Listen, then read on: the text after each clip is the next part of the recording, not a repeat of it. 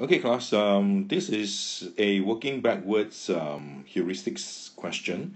So today we're going to learn how to identify first whether the question is a heuristic question, uh, what kind of heuristic question it is. All right. How come is it working backwards? And also I'll show you how to solve this question. So first, if you look at this question, of course, he says that Ismail thought of a number, so he doubled it, then he added, he doubled it, then he added 27 to it. And his answer was 87 all right then they ask you what was the number that email Ismail thought of. Okay? So how come this is a working backwards question? You can see eventually you know the answer is 87 so you start to know that finally when you get the answer is 87 okay? So working backwards means that you know the answer in the end and then what you need to do is you work backwards okay? So before this is this little clue here so he added 27 so before that you know this number that you do not know. If you add 27 it gives you 87 all right so in working backwards so you will know the one before all right is this question mark all right this number one question mark we'll just put here number one question mark is one step before. So when he add eight, eight, uh, 27, it give you 87. So you take 87 and you minus off the 27. All right. So the first question mark actually is 16. Okay. This is called working backwards. So I'm moving backwards right now from the answer. Okay. Then you go one more step back. So the second question mark is he says that he double it. So that means the second question mark is I double this second question mark and it gives me 60. Alright? So in order to get the second question mark, which is the number that Ismail actually thought of, so what I need to do is I work backwards. So the second question mark, okay, must be equals to, let me get the dot in, yes. Okay, so it's 60 divided by 2. So because you times, then you get 60. So when you work backwards, you must divide by 2. So the answer is 30. So the answer of the, the number that Ismail is thinking of, sorry, is 30. Alright, for question 3, it's almost the same as question 1. It's a working backwards question. So first, let's see what we have. He says that there were 75 beads in three boxes A, B, C altogether. Alright, then he says that if you move 12 beads from A to B, and then again eight, move 8 beads from B to C, in the end, move 3 beads from C to A, then in the end there will be an equal number of beads in each of the boxes. Alright, so what you need to do, alright, to make things clear, first you create three columns A, B, C. Alright,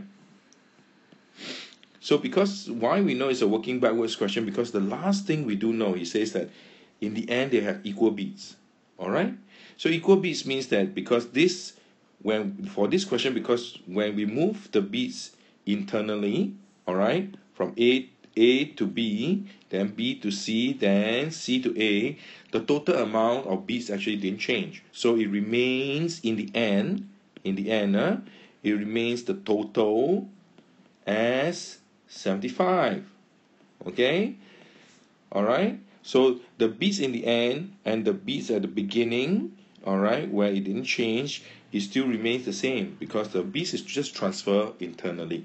All right so this is the internal transfer so because of that you know in the end because it says that the beats remains the same all right so therefore you need to take 75 all right you need to take 75 divide by 3 to know what's each of this in the end all right so if I do a little working here 75 I divide by 3 so it's 2 6 1 I take down the 5 then of course I have 5 here 15 minus 0 all right so I know in the end each of them has 25 beads. Okay that's where I'm going to start.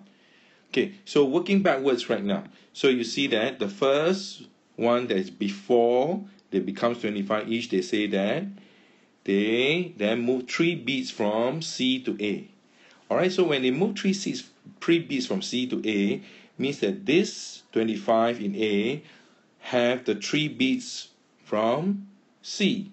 So I move the first one step before. Alright, so just now in the beginning I call the first question mark. So this is the first question mark here.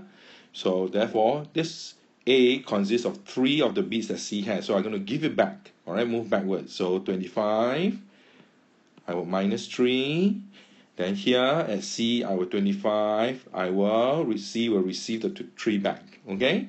So before this, so C will have 28. Alright? A will have 22. Okay? And B still remain as 25 because nothing changed for B. Alright? So next thing we're going to go to, since we moved the first question mark already, we're going to move back a second step here. He says that over here, they say they move 8 beats from B to C. So 8 beats, this number 2, from B to C. So this is the second question mark. Alright? So 8 beats from B to C. Alright? So that means this C will consist of the 8 beats. C in this 28 will consist of 8 beats that B have previously. So in order to move the second question mark backwards, okay, I have to take 28 away from C because this A actually was given from B. So if I take it away, I must add back to B, which originally belongs to B. Alright? So I will have, C will have 20, alright, during the second question mark. So B, uh, sorry, C will have 20, B will have 25 plus 8, which gives you 33.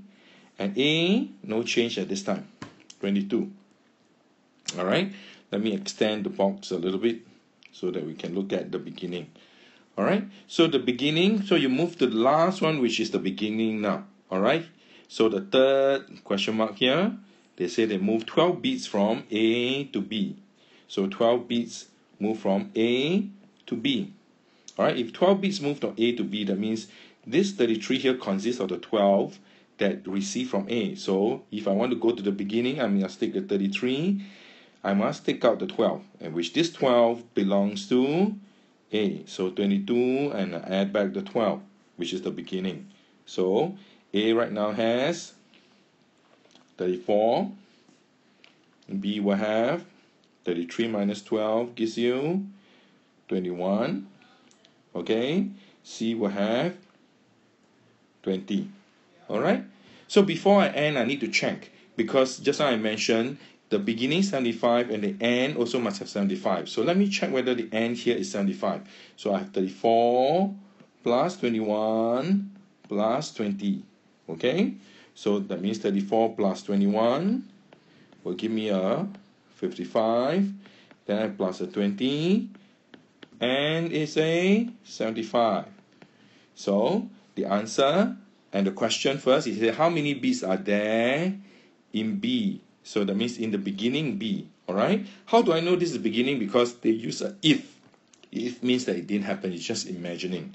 So in the beginning that what B has is actually 21. So the answer when working backwards and there's an internal transfer here, okay, the answer is 21.